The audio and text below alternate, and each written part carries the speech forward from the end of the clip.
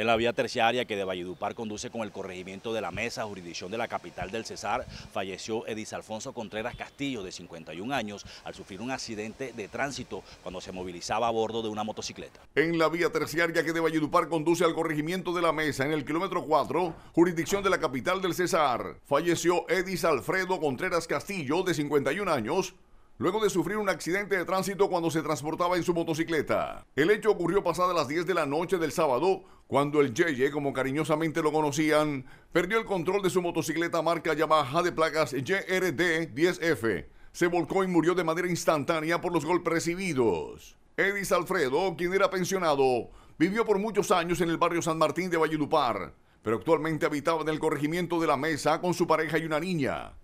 Autoridades de tránsito investigan las causas del fatal accidente.